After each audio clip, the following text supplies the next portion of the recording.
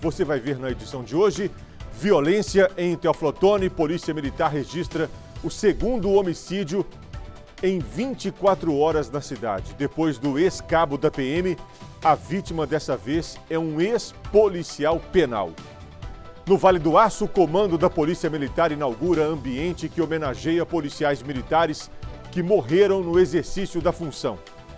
Em Caratinga, pedreiro cai de prédio e não resiste aos ferimentos. A vítima tinha 57 anos.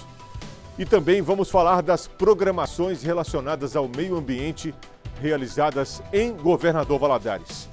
Essas e outras notícias você acompanha a partir de agora no MG Record pela TV aberta e no facebook.com barra TV Leste. MG Record